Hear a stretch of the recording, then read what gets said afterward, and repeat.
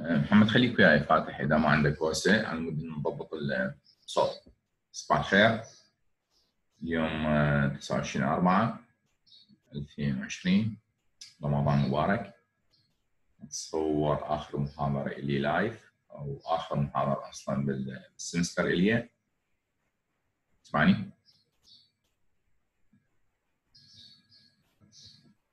دعاء أو هبه تسمعوني يعني؟ صباح الخير دكتور صباح الخير. جيد جيد عشت فالسمستر بعد إن شاء الله أسبوعين الأسبوع الجاي دكتورة فادية كواليتيتيف والأسبوع اللي بعده دكتور محمد الانكزايتي ونخلص إن شاء الله. نبلش اليوم بموضوع جديد وحقيقة قصير. بس حنعطيكم some tips about conducting survey. So today we'll talk about how to conduct survey. Evaluate patient and outcome satisfaction. As you know, patient satisfaction is a very important topic because it's one of the outcome of the healthcare system. So we not only care about clinical outcome and medication safety, also we care about patient satisfaction.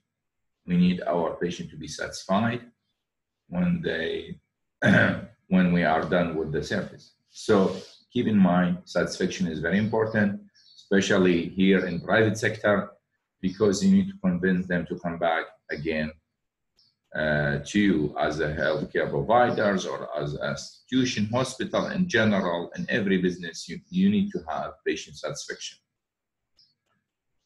Today we need to talk about uh, structure uh, process outcome model also another model called echo model which is uh, related to economic, clinical, humanistic uh, outcome. We need to uh, describe the four concept of patient satisfaction because uh, measuring patient satisfaction, we need to measure four concepts. then we need to give you some tips or advice about how to conduct survey in general. Keep in mind, conducting survey is not easy and it's not straightforward as uh, some of us may know uh, may may think it's easy. I can just write down some questions and those questions will be a good survey. No you need to test your survey. You need to design your survey in a, a solid way. So it will be get published in good journal so let's go to the structure process uh, outcome model. Also, we call it uh, Dona, Donabedian, which is the author of this. Uh, every uh, model or theoretical model in general try to help uh, audience and authors to structure their uh, variables, structure their factors. So instead of putting them in an organized way, we need to put them in organized way. For example, this model says we have three components or three domain. We have to have structure. For I'm talking about the healthcare system in general. In any healthcare system or settings, we have three components or domains: structure, process, and outcome. Structure means anything we have the resources, personnel, uh, uh, material, the setting itself, physical stuff. For example, in the pharmacy, we have shelves, we have uh, we have computers, we have anything hardware, could be software, and also personnel. This is a structure. It's a material, the material we have. The second domain it's the interaction between the personnel or for example interaction either between the pharmacists themselves or interaction between pharmacists and the patient. So any interactions the process we are we are dealing with medication administration medication dispensing prescribing this is process. Eventually we need to measure the outcome. Outcome either clinical economics or humanistic So outcome could be uh, patient health, could be medication safety, could be organization profit. So outcomes could be from patient point of view, could be from pharmacy point of view, from hospital uh, point of view. So we always have structure, we have the process, process usually interaction, and at the end we need to measure the outcome. If we have uh, an appropriate or inadequate outcome, that's mean we need to go back and fix the structure and the process, or both. Either we have an inadequate structure or inadequate process, which lead to an inadequate outcome. So this model basically, as I mentioned, for example, when we say about structure, we have pharmacy computer, software, robot, and also the personnel themselves, the qualification of the for the pharmacist, knowledge, social communication skills. So it's the characteristic of anything available in this pharmacy, either hard stuff or personal. The process, as I said, it's, it's the, the care itself. When I dispense, when I counsel patients, when I administer medications, all those are processes. We need to care of those for us. Outcome, we can measure outcome using ECHO model, either economic, outcome, clinical, humanistic. So this uh, Donabedian or SPO uh, model, as we mentioned, will help us to organize our factors. We need to measure the factors and if influencing the outcome we need to measure the structure and the process itself. Here we have another figure. Structure could be electronic health record, could be the knowledge of the pharmacist, the process. The process is the healthcare process itself. Screening, administration, counseling, dispensing, the behavior we are doing in our healthcare system. The health outcomes contains usually three domains, clinical, economic, and humanistic. For the clinical, we know the clinical, a disease, either the disease, uh, the, the health itself, the clinical outcome patient, either patient have better health, better signs symptoms, a better control of blood glucose, blood sugar, blood cholesterol, control all those uh, clinical measures. And also could be related to medication safety.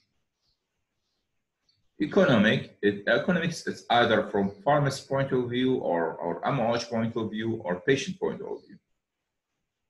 So from patient point of view, how much they paid out of pocket. From MOH point of view, how much this patient cost us. Humanistics related quality of life of patients physical, social, quality of life. Because sometimes uh, this patient ha has uh, inadequate humanistic outcomes such as pain, depression. So it's hard to be measured as a clinical outcome, but it's a humanistic outcome. Humanistic would be satisfaction, which is our topic in this uh, lecture we need to measure patient satisfaction, one of the most important uh, outcome in humanistic, because if patient is unsatisfied, they will talk badly about your setting, about your pharmacy or clinic, and they will discourage people to come back to your pharmacy. So satisfaction is important for you as a, a business manager or as a stakeholder in this company. ECHO model again, the economic outcome related to the cost. The cost could be direct, could be indirect cost. I will talk about this late in the next couple of slides. Clinical outcome, we care about patient, patient health. Humanistic, we also care about patient feeling, patient satisfaction, so not only sh should care about patient physical uh, clinical outcome, we care about, we should care about patient feeling, satisfaction. So uh, in the United States, they have mostly private sector. So in Iraq also we have here, but they care. They care about the quality. They care about patient satisfaction because it's business and uh, they they need people to come back to, to their clinic and hospital. But here in our public sector, we usually don't care about patient satisfaction because we provide free services. So it doesn't matter if patient come back or not because there is no personal profit for, for the employees Who, so there is no incentive for them to provide uh, a high quality service or increase patient satisfaction. So really it depends on the goal. If we need to put the patient satisfaction as a goal, we need to take care of this aspect. آه واضحة لحد الآن ما شاء الله هبة دعاء وعندنا سوزان وفاطمة أمل أمان هند جيد صوت واضح محمد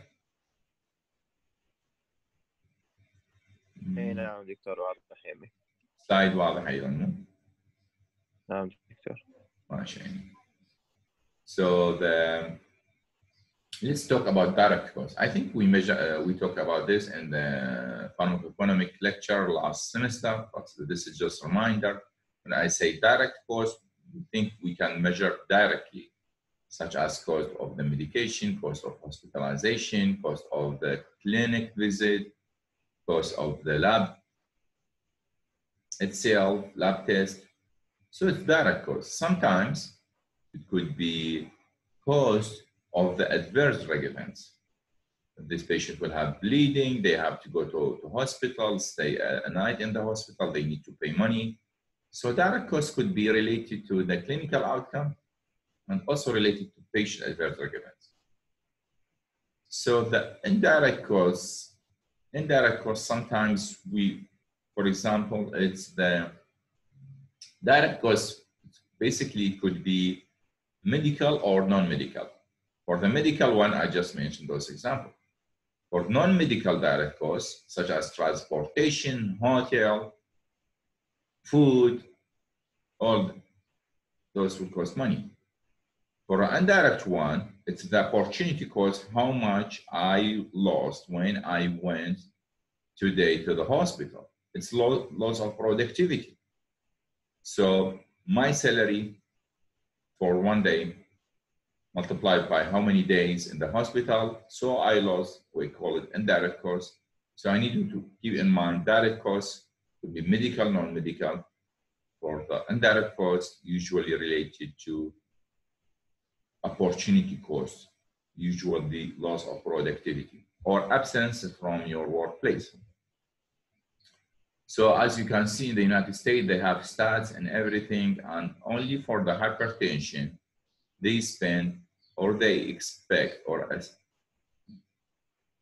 the direct costs are 54 billion, while indirect costs it's almost 20. Keep in mind, indirect costs could be huge. 19.2 billion is really large chunk of money.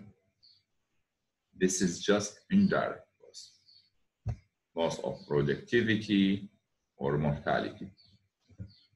So ECHO model, we are done with the E, which is economic. Now we're dealing with the clinical. The clinical, I think we have to have measure. We usually need measures. We need numbers. We need to measure through lab data. Uh, uh, it's hard to rely on the symptoms. So basically rely on the measures, something we can like temperature, pulse rate, respiratory rate uh, blood pressure, blood glucose, HbA1c, cholesterol, those are numbers. So we need to measure an, uh, one of those clinical outcome measures to understand if this patient under control or not. For example, blood pressure will refer to the blood pressure control, HbA1c will refer to the blood glucose control. So clinical outcome could be disease or could be drug outcome. drug outcome, either good stuff, which is the control of blood pressure, or bad stuff, adverse-like events. So adverse-like events are related to clinical outcome. We should care about medication safety. We should reduce the chance of risk because we not only need to improve or reduce the symptom, but we also need to minimize adverse events. Humanistic. Humanistic mean related to patient themselves, related to their quality of life, physical functioning, general health, status, satisfaction. Quality of life, we can measure it by SF, short for 36, or SF12. This will measure social and physical health. For the satisfaction, we, we will talk in details about how we can measure the, patient satisfaction.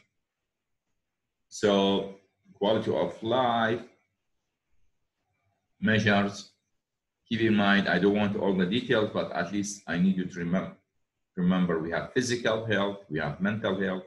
For physical, we have the physical functioning, general health, body pain, role, physical, and for the mental vitality, social functioning, mental. That's means the patient should only, we need to measure quality of life. It's not just physical, it's mental, social. So some people, they are physically fine, but mentally or socially, they are having problems. So for pharmacy, it's a private business. I'm talking about community pharmacy. We need people to be satisfied. Why? Because I need them to come back to our pharmacy and I need to enhance the pharmacy reputation. I don't want to lose patient or I want, want to lose customer.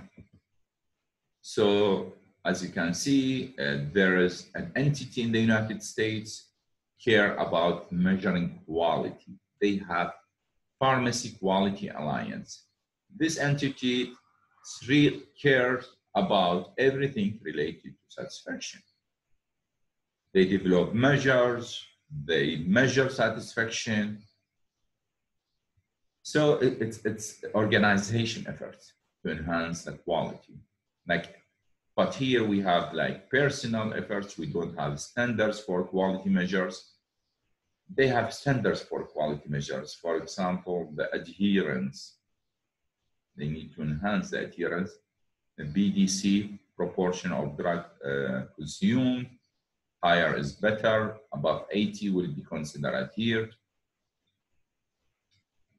Dr. Amar Aila, I think, will have uh, a seminar uh, at the Zoom meeting this Friday about the adherence of medications. One of the outcome measures we need to enhance our satisfaction or enhance our quality should be patient adherence to medication. So we need to measure the quality, we need to measure patient satisfaction. To measure everything, we need a measure, we need a parameter for example, medication adherence, PDC, it's a parameter. Patient satisfaction, we can measure it by a survey. I did two lectures, uh, sorry, two studies about patient satisfaction.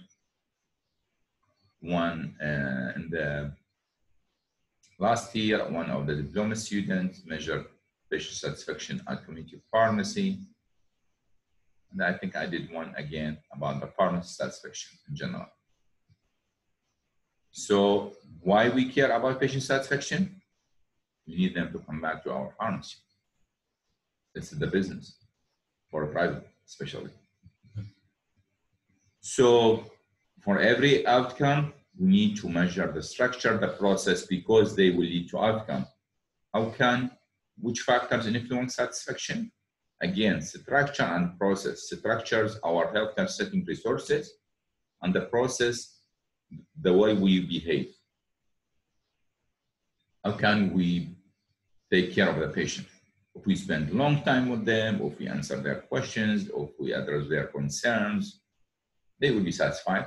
If we have chairs they can sit on, if we have clean, nice fa- uh, pharmacy, if we have a good air conditioning, if uh, their waiting time is short, we can enhance patient satisfaction. So if, if our patient is unsatisfied, we should go back and fix either or either structure or process or both. So we expect we did something wrong because at the end this patient is unsatisfied. I'm talking about satisfied from us. I'm not talking about satisfaction in general because in general they this patient may be unsatisfied from disease or this is external factors. I care about my pharmacy service. كم سؤال هنا يعني اكو سؤال؟ واضحه لو العسانين مال رمضان. اكو سؤال؟ تمام دكتور هي واضحة يعني يا دكتور تقريبا نفس المحاضرة اللي أخذناها بالسمستر الأول. أنتوا اعطيتكم اعطيتكم المحاضرة؟ اعطيتكم اياها يعني دكتور مو نفسها بس تقريبا مثلها اللي هي همينة مال الإيكو موديل هيك شيء كانت شنو موضوعها؟ دكتور هي كانت بال شو اسمه بالفارماكوك. فارماكوكونومي قصدك؟ نفس الشيء دكتور همينة مال ال- شو اسمه العفو. هنا لا، دكتور همينة كانت معي هيومانيستيك فاليو والكلينيكال اوت كام بس ما حكينا على الساتسفاكشن والسيرفي ما حكينا على السيرفي أي ما حكينا بالضبط دكتور بس هم سولفنا قلنا إنه إحنا نخلي لها سكورات مثلا ونخلي هاي السمايل فيسز وهي ريبريزنت إنه ساتسفيكيشن مال البيشنت وشي جيد والدايركت والاندايركت كونستنت سولفنا بها أوكي بس مو اكزاكتلي نفس المحاضره يعني ها؟ اي مو اكزاكتلي بس المواضيع سم هاو سيميلر يعني. جيد جيد ممتاز. We have four domains or four uh, components we can uh, use. It's better to use four of them to measure patient satisfaction. First we need to measure the performance evaluation performance of your setting. Disconfirmation of expectation patient will bring expectation. If you exceed patient expectation, we will end up with better satisfaction. If we not, uh, if we uh, if we uh, didn't meet the expectation, we may end up with insatisfaction. Affect-based evaluation is related to emotion. Sometimes when you when you buy something from a a seller like uh, they will tell you some words nice words like you are welcome please come back and if you need we can help. Those are nice words. They may give you some kind of satisfaction at the end. Even the price will be costly pricey but some nice words will help you you know? So it's related to your emotion that equity based you will evaluate how much efforts or money you put in the service. I will talk about this in details in the next slides. So performance evaluation, we care about the surface of our pharmacy or healthcare setting. I mean the service, healthcare services, or dispensing, our administrations, our diagnosis. We provide service like when you go to mechanic, the mechanic provides service to your car. So are you satisfied with the mechanics uh, services? Is it good quality or high quality uh, or ba- low quality? So service can be from any business or any, you know, isn't like uh, limited to, to healthcare setting, but in general, healthcare setting provides service and you need to measure yourself and you can measure by give them this uh, Likert scale, which is from extremely unsatisfied,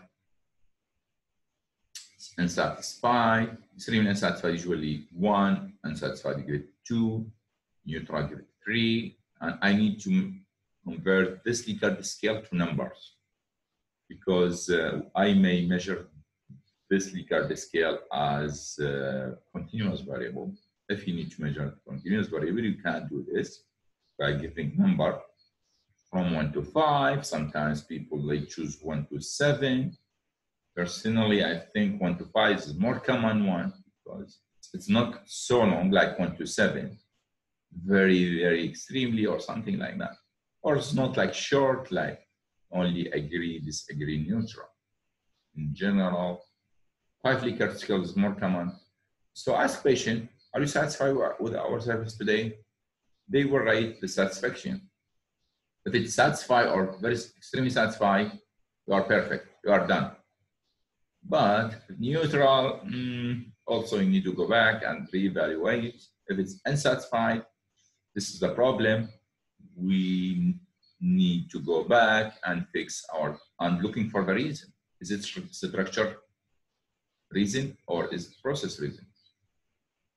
If the pharmacy, everything is good and fine, but I didn't welcome the patient, I didn't talk with them nicely, I didn't educate them, I didn't consult them about their medications, they may be not satisfied. Even your pharmacy is nice and cool, everything is fine, but you didn't do well in the, in the process. You didn't do well in the counsel.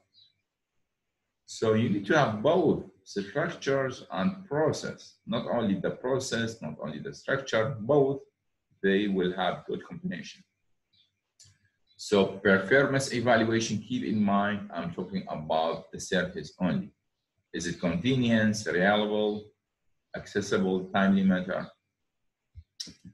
Domain number two, I need you to um, remind, remember this term, disconfirmation of expectation.